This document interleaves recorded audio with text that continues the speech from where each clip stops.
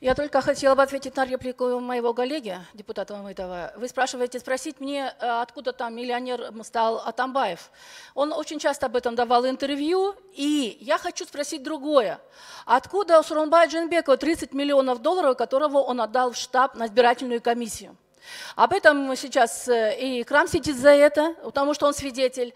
А наш бухгалтер э, штаба э, выехала, потому что она боится преследования.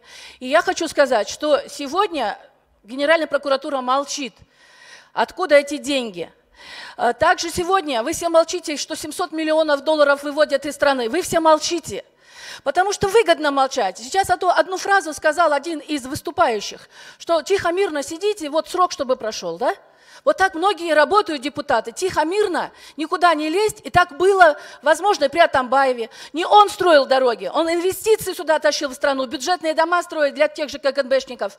Он сюда тащил деньги, что он строил, бегал дороги через Минфин. Мы здесь комитетчики, э, в смысле члены комитета, э, ратифицировали многие договора. Минтранс строили, что он должен был бегать и проверять Сегодня разве это задача президента?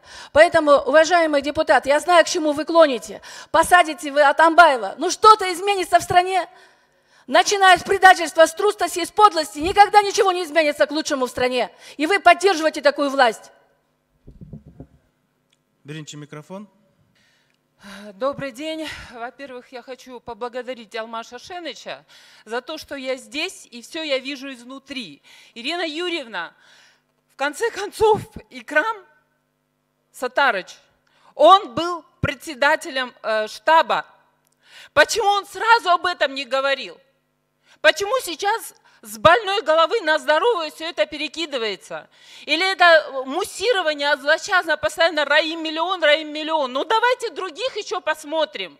Почему Шумахера мы не смотрим, сколько он денег работая просто советником, сколько у него сейчас денег? Почему мы на это внимание не обращаем?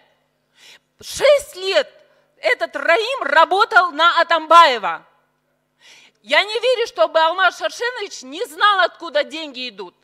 А теперь так хитро за день его снимают, объявляют коррупционером и удобная политическая фигура, чтобы раскачивать по поводу коррупции. Но давайте честно говорить. В конце концов, Сарунбай Шариповича он привел – и мы все отработали за него, а теперь нас обвиняют, что мы чуть ли не за Бакиева отработали. И когда говорят, что я такой доверчивый, извините, тогда не имеете права, если вы такие доверчивые, э, занимать э, ведущие посты, первые посты. Так можно, знаете, неизвестно кому доверять. И вы прекрасно знаете, кто такие сидят там, и Сапар, кто такой сидит, и другие там тоже. Единственное, я говорю, кого мне жалко, это Артыкбаева. А остальные по делам. И из-за того, что кто-то струсил в свое время, это еще ничего не значит.